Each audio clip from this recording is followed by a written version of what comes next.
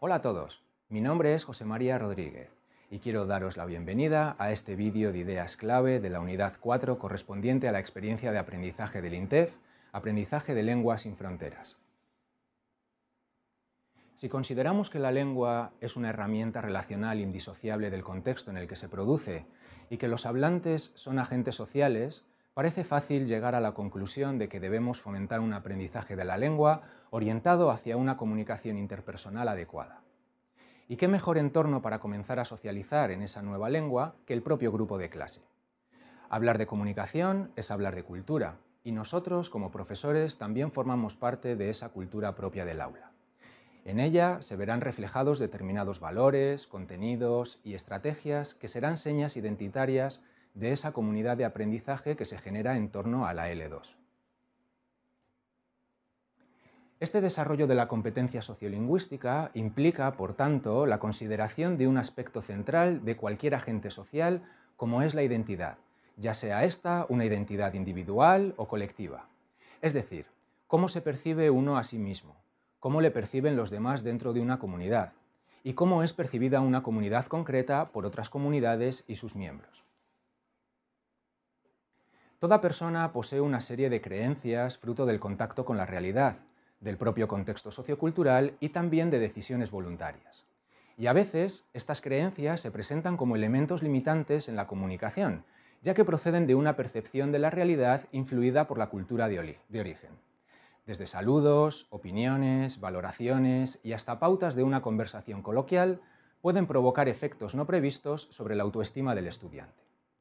Un aprendizaje que tenga en cuenta estos fenómenos reduciría las posibilidades de que nuestros estudiantes sientan amenazada su imagen.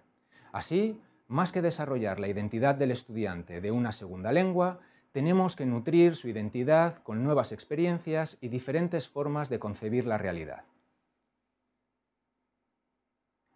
Un concepto clave iniciado por Goffman en los años 60 es el de la imagen, face en inglés, que se presenta como un universal, común a todas las culturas y sociedades, pero cuya configuración y trabajo concreto en cada una puede variar enormemente.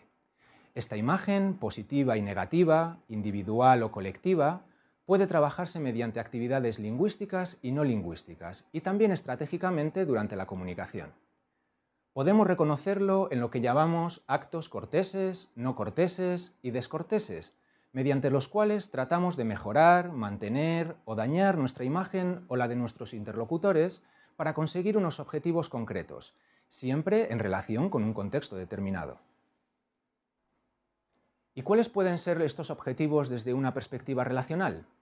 Pues tomando como referencia dos categorías culturales como son la afiliación y la autonomía, podríamos desarrollar, por un lado, la pertenencia e integración a partir de unas creencias compartidas, y por otro, la libertad del individuo para decidir y actuar. Y esto necesitamos poder expresarlo lingüística y no lingüísticamente según el contexto. Este sería un objetivo esencial en el desarrollo de la competencia comunicativa, fomentar una competencia intercultural que permita al estudiante gestionar su propia imagen y la de los demás de forma adecuada, comprendiendo y analizando críticamente los distintos estereotipos fruto del choque cultural.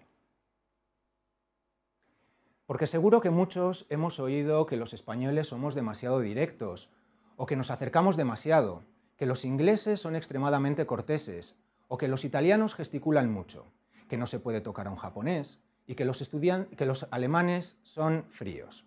Por no hablar de lo que a otros aspectos culturales se refiere, como fiestas, costumbres, folclore, gastronomía o música, por citar algunos ejemplos.